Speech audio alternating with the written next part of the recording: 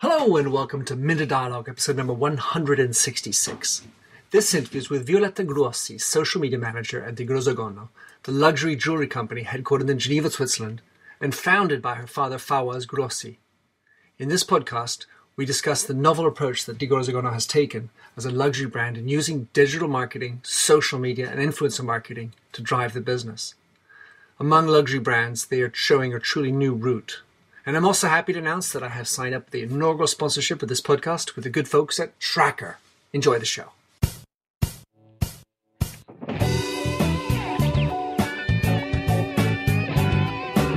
Welcome to the Minter Dialogue podcast, where we discuss brand marketing with a focus on all things digital.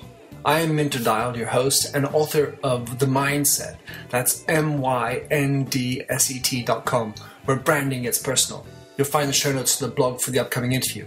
Let's cut to the quick. and Enjoy the show. Welcome to the Minter Dialogue. So today, someone I met just last week in London who is working and runs one of the most beautiful luxury brands uh, that is called de Grisogono, as I hopefully say correctly. So, Violetta, tell us who you are and what you do at de Grisogono. Hello, I'm so yeah, my name is Violetta. I um take care of um, all the social media um, for de Grisogono, which um, with the times, as social media has and digital marketing is growing itself, my role has grown. Um, and now we're also doing lots with uh, influencer marketing and content strategy. It's very, it's a very exciting time. I'm also the um, daughter of the founder, so um, that puts me in a, in a in a nice position in terms of sort of my um, loyalty and understanding of, of the brand and sort of I've grown up in this in this business. So my love and passion and understanding for it is you know is, is quite deep I would say. Yeah to say and, the least you represent the brand. Yeah in some ways yeah I would say yeah I represent exactly I represent the brand and um, so, de Grisogono was um, started in 1993. Tell us about the origin of the brand, because you know usually the time when we're talking about luxury, it's sort of since 1857, uh, but you guys are since 1993. So tell us about the origin and how you've got to this position. Yeah, I mean we are you know a very young brand. Um, my father um, was in the um, jewelry um, industry from before. He he sort of fell into it and fell in love with it um, working for sort of Harry Winston and Bulgari. And um, in '93, he decided um, with two partners to go it alone. And um, actually, then he continued alone. He sort of bought them out and continued with the name. And he's had sort of a great and amazing success through his passion and creativity and also boldness, I would say. He's very brave and sort of just going with you know exactly what he wants, whether others think is crazy or not. And some of those moves have, you know, turned him. You know, the Black Diamond, for example, was one of his first.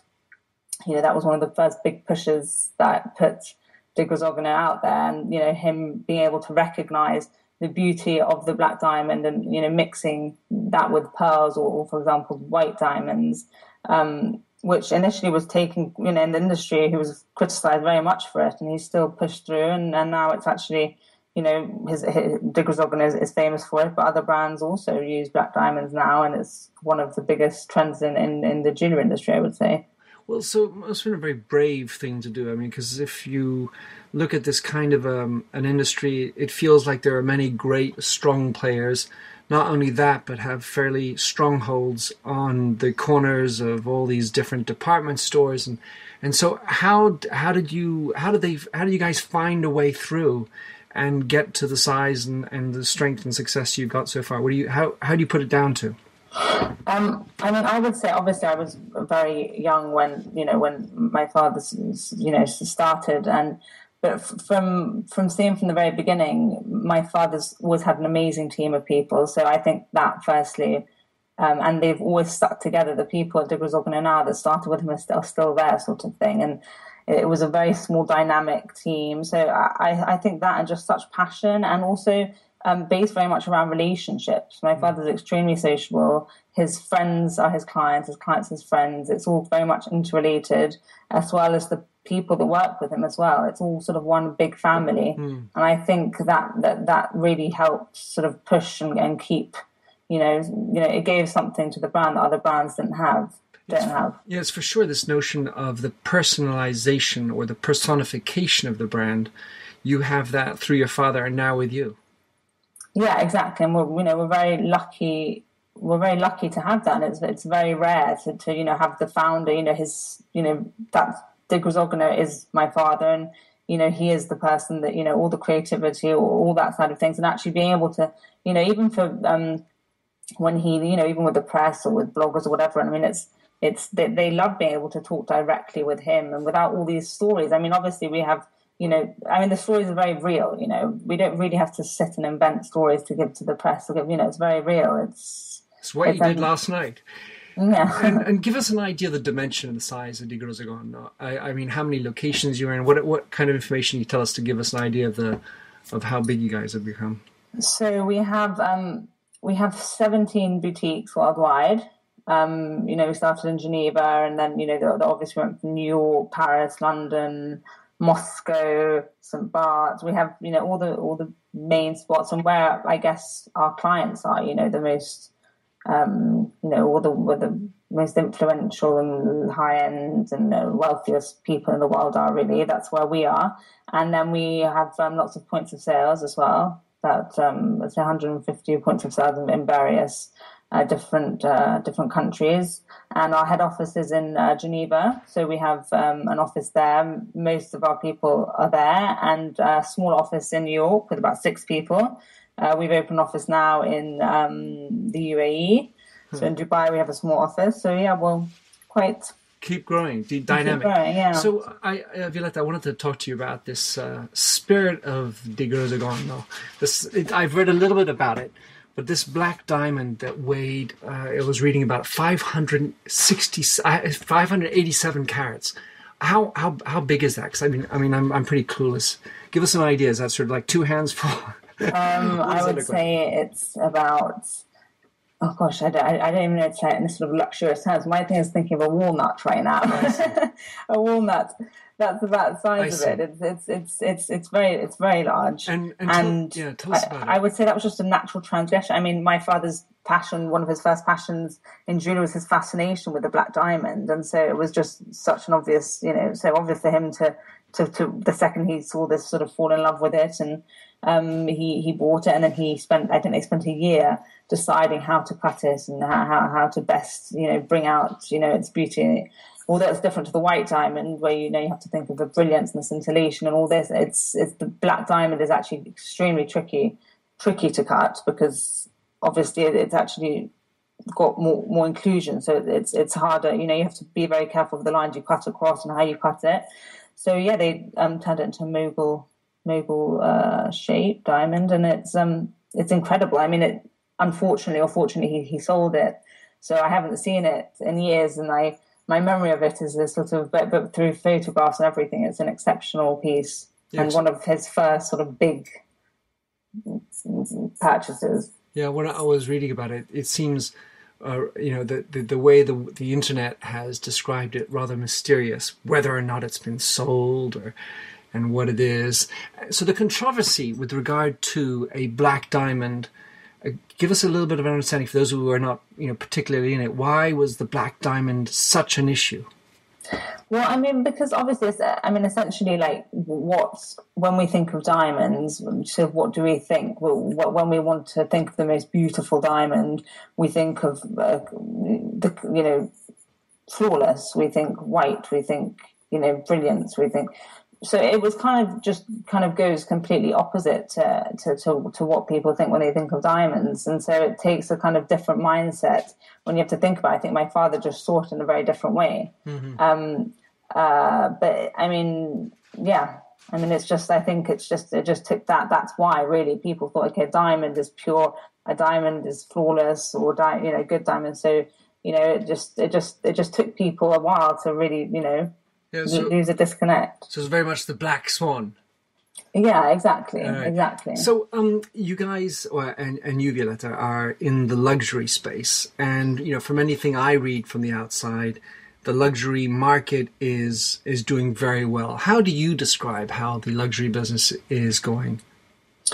Um, yeah, I agree. It is doing very well, and it seems to sort of you know, the very high end anyway seems to sort of not be affected by what goes on in the world somehow. Um, obviously to a certain degree, but but given that you know we make very very expensive pieces and these incredible pieces, and they still continue, you know, to sell and do well. And I think people that are of a certain wealth, you know, take you know, I guess to get away or to get their minds off, you know, they have a true passion for these pieces and they still find somehow, you know, that they, they still spend on, on, these luxury, luxury items. Yeah, you, as you, as you and I discussed uh, on stage in London last week, the, your average selling price is £50,000? Yes, I mean it's hard to say because there is such a range, but yeah, I would say the average is fifty thousand. We we started you know, we have th- these really cool um, younger pieces like the Allegra ring, which is the piece that was actually named after my sister, and I would say is the piece that's done the best. It's it's a really cool, um, just a gold ring with um, uh, different like lots of bands on it, and that starts at sort of seven thousand. But then we go up to you know the hundreds of thousands. So, but I would say the average de Grisogono piece, yeah, I would say is fifty thousand. Hmm. And all right, so you know, as you know, one of the things that I, I do is I work with a, a, number of luxury companies, and I I've talked to them about this thing, this digital thing, and let's say that the the uh, overriding belief has been that digital and luxury don't go together well because digital is democratic, digital is transparency, digital is the cheapest price, digital is disruption how have you approached digital? Because I know you guys have done quite a different approach. How do you describe the importance of digital in your strategy? Well, for us, oh, sorry, I think. Well, us, I mean, uh, digital is. I mean, yeah, exactly. It took on it took the, the industry, especially the luxury market, a time to sort of you know um, take onto the idea. And I think now, though, people are realizing that it's just a natural transgression. I think the clients of the future are the millennials. Um, they are, you know, that's they are digital. I mean, natives. That that's the way, you know, that that they think. That's the way that they make their purchasing decisions. That's the way. So, um, yeah, I think digital for, for luxury is, is is just like in life. I think you know, digital we have to be in digital because that's just the way everything is done now. Whereas, you know, 10 years ago, it was still a question mark. It was still like, you know, are our customers even using this? You know, and, and, and all the brands, you know, all the luxury brands were very fearful to, to, to, to start. And, and, to be honest, we, we were, we were too. Mm-hmm. Me, maybe less, but, but the um, some people in the company were too. And I respect that. I understand that, you know, it, it is a scary thought because luxury is supposed to be, you know, not attainable to everyone. It's supposed to be, you know, and, and said, social media digital is completely open to the world. So it's something very tricky, and I, you know, we're still learning on how to get it completely right. Mm-hmm. But well, you talked about the younger generation, but if you're talking 50k and uh, this type of luxury positioning, typically we're not selling to. I mean, there are the occasional Zuckerbergs of the world, but the majority of your clients are presumably not sort of still Gen Gen Y or Gen Zs they're typically more wealthier, older individuals. Yeah, no, for sure. I mean that. I mean more for the future, but now exactly, yeah, they are. I would say, you know, many of them are forties and their fifties, but them as well. I mean, it's it's it's really the way that people live through their social media. I mean, we have clients all the time coming in with their phones saying, oh, "I've seen this uh, on Instagram or this blogger posted this or you know can we see this I mean it's really amazing what any age group really is using um, social social media. So it's yeah it, you're right. Even even if that's even 50 60 I mean yeah. everyone uses it I think it's just the way of life. Uh, one of the things that's a challenge for luxury brands and digital is that you're going to have to sort through the wheat and the chaff because so many of the people who are, you know, an asp, you know, luxury equals aspiration. And so if you're out there, then you're going to get a lot of traffic from people says, "Oh, isn't that pretty?" But, you know, they absolutely don't have the wherewithal to purchase it. So you have the aspirational, lots of people liking it, but they're not at all customers. So uh, have you have you sort of tried to figure out a, an approach through that, or you just sort of are comfortable with the knowledge that 98% of the people who are maybe liking your photograph are not necessarily customers. How do you approach that? So I think I think yeah, exactly. We have to sort of you know understand that a lot of the people on there are at the aspirational, but I think we try and sort of see the positive in that. In that the aspirational are the ones that create this buzz that then makes the real clients feel special really because if you don't have those people then you know if i buy something you know like a really nice watch and then online i see everyone saying oh my god that's so amazing that's so cool i wish i could have that that kind of gives me an ego boost as well so in that sense yeah i think it's it's, it's actually a good thing and i think if we create good content um, that can then be shared and people share that content we can control that in some way mm-hmm. and people are commenting on this then i think you know we're happy we obviously hope to you know through the content we create and through the influencers we uh, reach out and have relationships with, that just the natural, the, the, the way it organically spreads the message, it, it, spreads to the right people that would appreciate this type of thing. So the taste of someone that maybe can't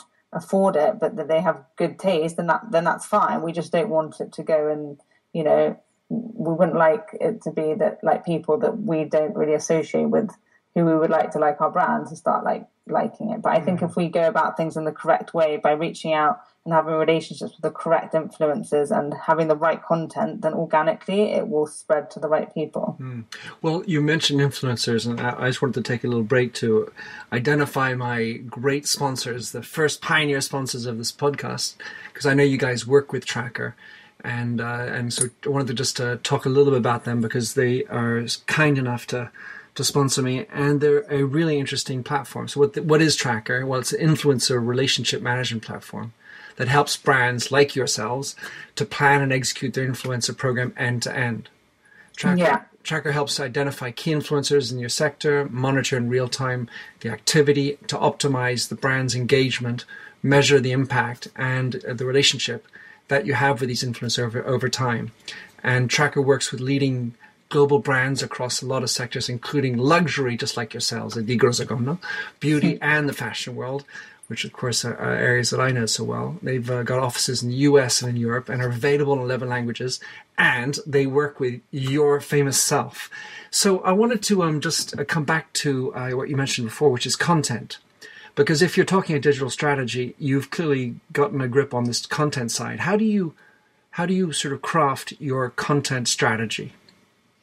Well, so now we actually want to do more um, um, because talking about influencers, I think you know it's very important that you have um, content that they will want to share. And if you don't have you know content that they they want to share, then it's almost you know pointless. So definitely working with influencers to create the content is one thing, and then um, also just creating content that's authentic and understanding the difference between um, you know the digital sort of like um, instagram for example rather than our online or advertising campaigns you know to, it's very different. So instagram we try and be very authentic. It's very real. It's very in the moment. We don't do photo we don't go to we, we don't like to do like professional photo shoots for instagram for example. And i find that people appreciate that.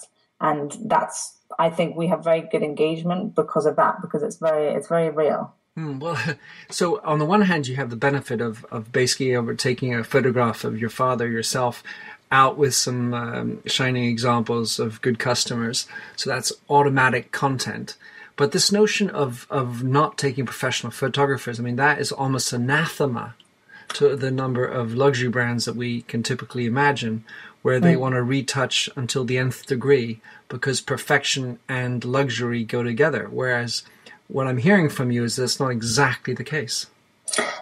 Yeah, and I think people, our followers, can see through that, you know, and I think doing that just kind of just takes away what uh, social social media is about, and that's not what, what people want to see. So, for example, in the magazines, the advertising campaigns, that's what they want to see. When they see a highly photoshopped hand in a studio setting, people are just like, okay, they want to see how to wear de Grisogono in real life, and we want to show people how to how to live de Grisogono, how to wear de Grisogono. We want to show, you know, that you can pair a really big ring with something quite casual. That you can, you know, and it's just a, a, a fun way for us to firstly have fun and then just to show people really the spirit of de Grisogono and how it should be worn, how you can wear it, and give people fun ideas. And also, you know, we are a cool. We want to be a, a cool fun young brand as well. It's like portraying the amazing craftsmanship, which is something that we have to work on more.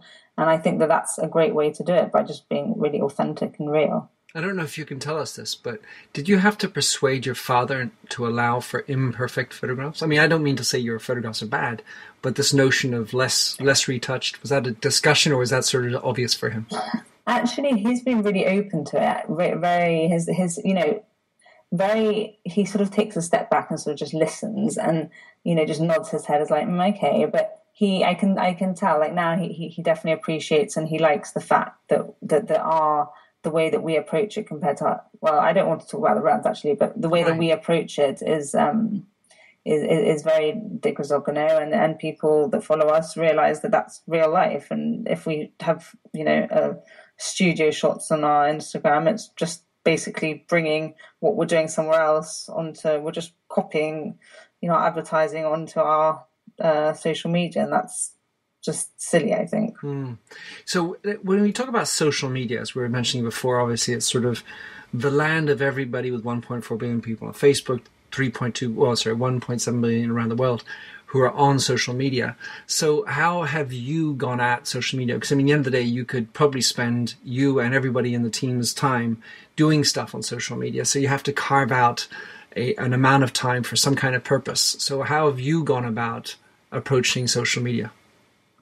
So um, we think of social media as, as, trying to, you know, give another viewpoint um, of our brand and trying to bring people sort of behind the scenes and, um, you know, showing, you know, what, what, what, we who we really are. And I think visually, I think Instagram is the best one. So we've had a big focus on Instagram and also Facebook. Although Facebook has, you know, I think it, it's lagging a bit behind. I think for, for most brands, the engagement isn't I think also because everyone's on their mobiles all the time, and Instagram is more mobile. So um, mm-hmm. that's our focus, I would say, is Instagram, and um, also just very much um, engaging. We we really make an effort to answer everyone, um, all the questions about the pieces.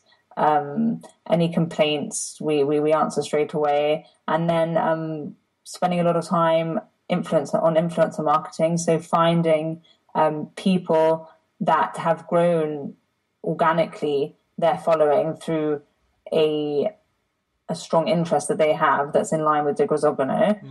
And um, you know, before even reaching out to them, really sort of understanding who they are, who they talk to, what their likes are, what their dislikes are.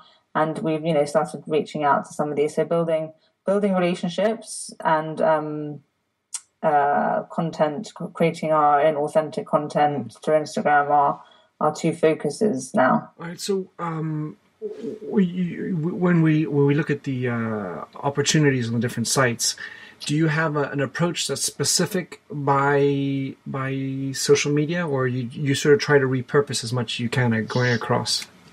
What across you know, different channels? Yeah, or? taking taking an image and then making sure it's on Pinterest, Instagram. You pop it on a tweet. Uh, do you do that kind of a thing, or do you basically have a an approach specific to each platform?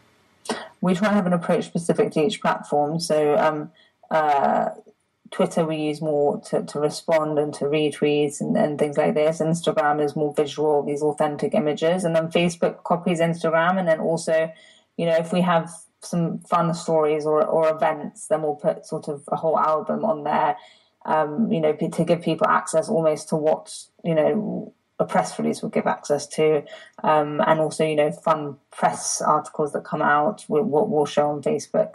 But Instagram is the main, is the one that we do all the sort of content, all the visual, um, sort of that I basically take myself, lifestyle um, sort of lifestyle fashion looks. So what? All right. So I want to get in the mind of Violetta a second. I mean, so you're at Cannes or you're at some f- great activity.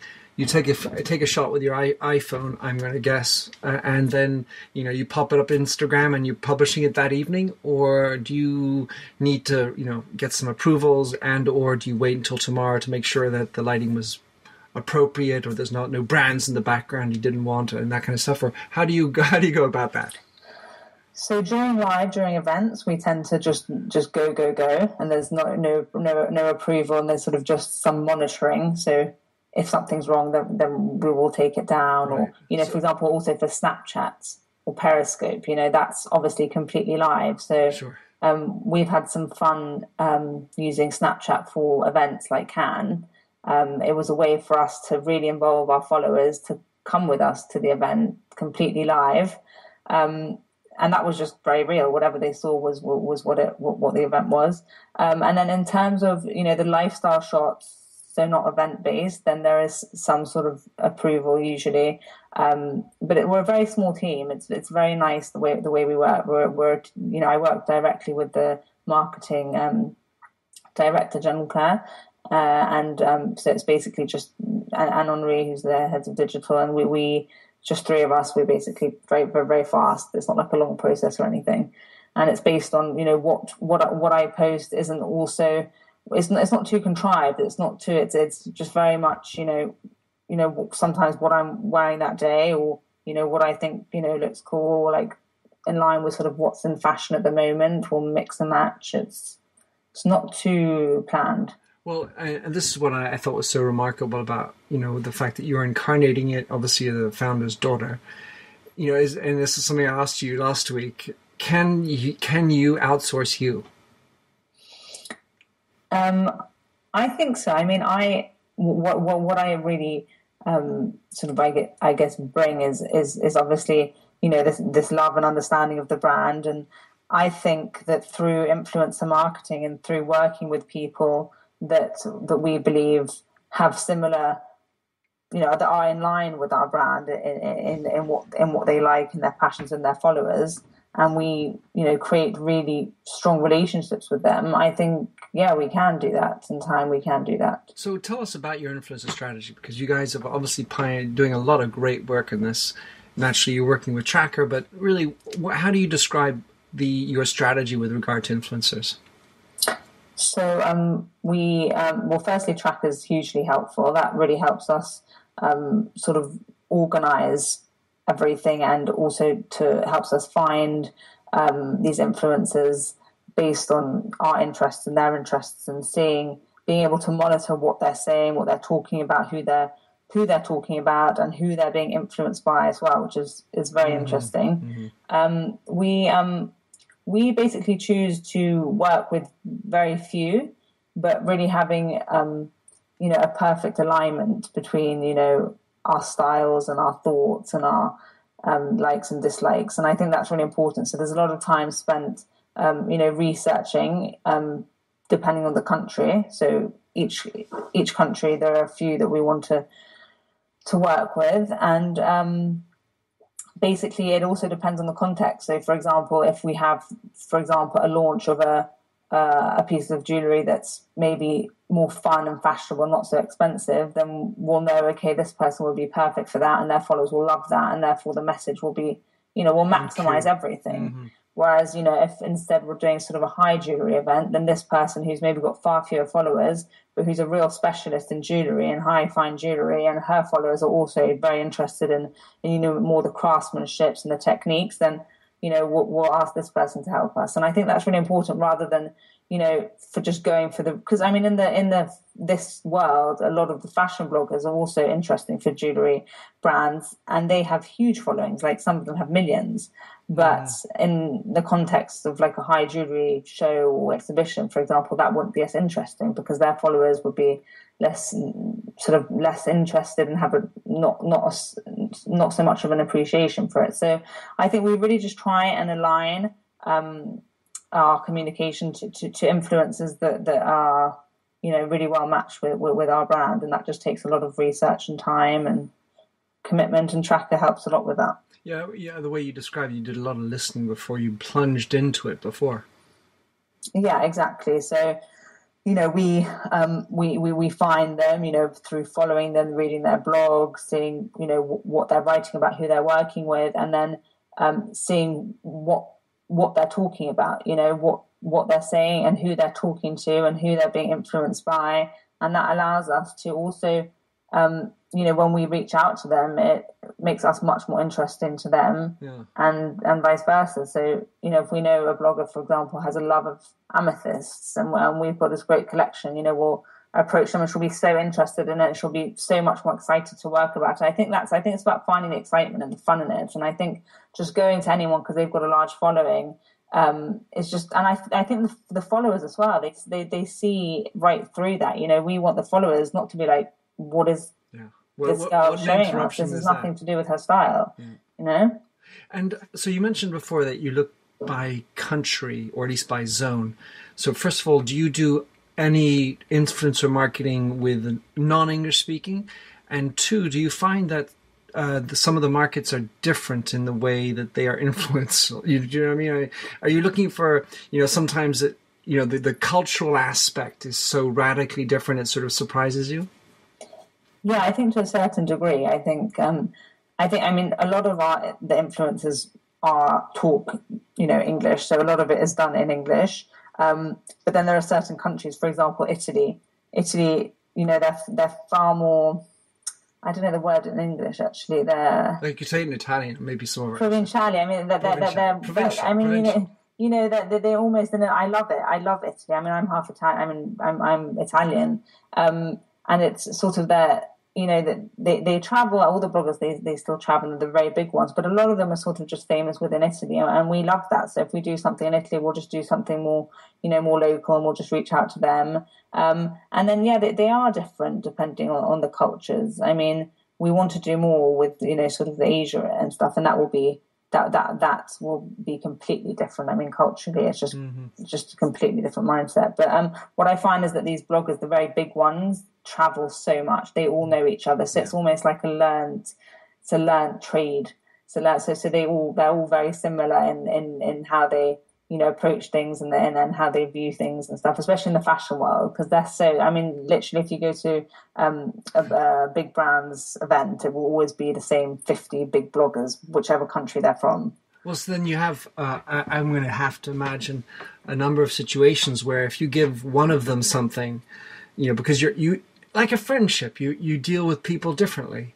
So these are relationships you're cultivating but you know if they're all together and you might have given a nice little privilege perk to one but not to the other? is that sort of is that something that comes up regularly?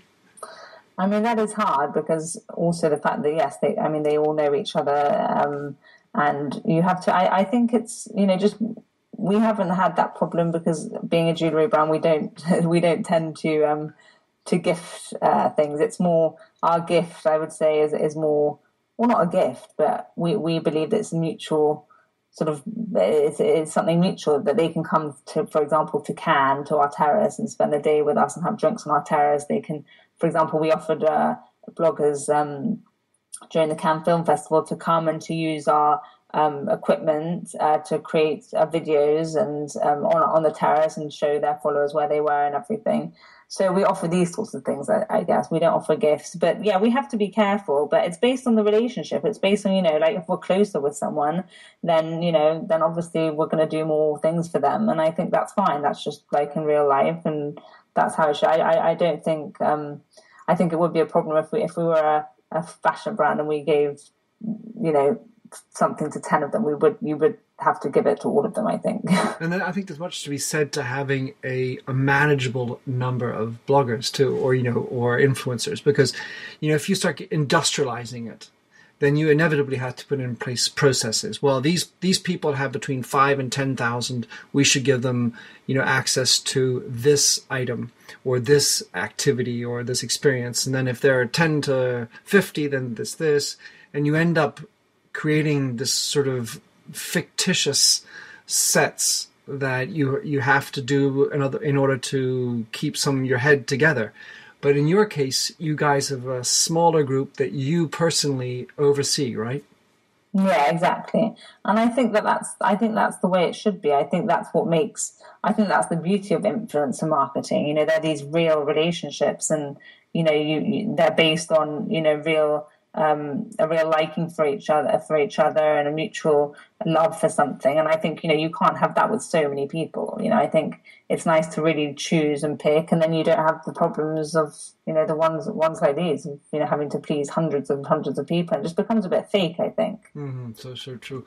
So um, you, have been doing this for uh, this influencer marketing now for a couple of years.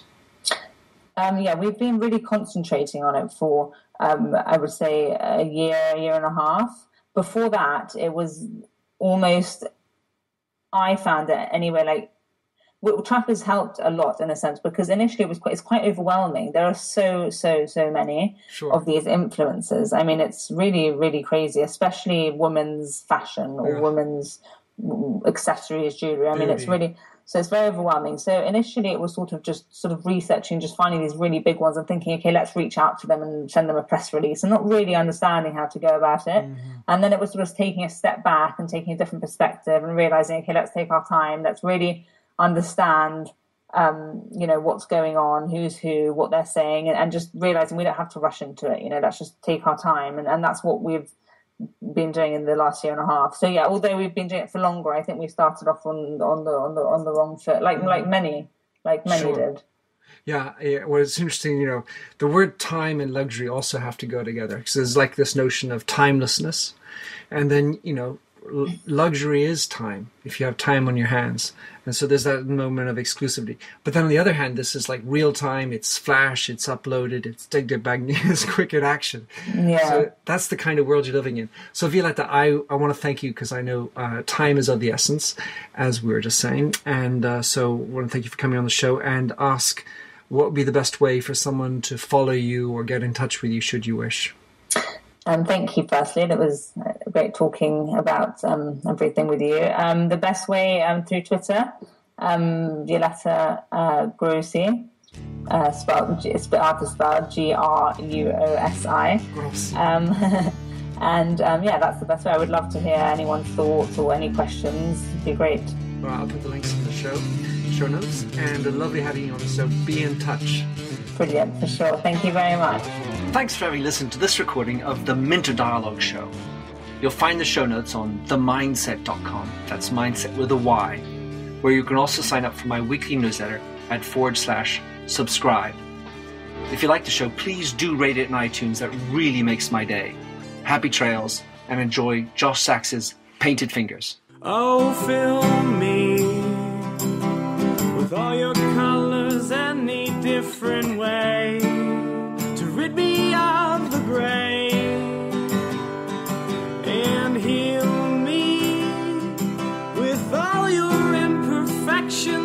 you mention in your lack of self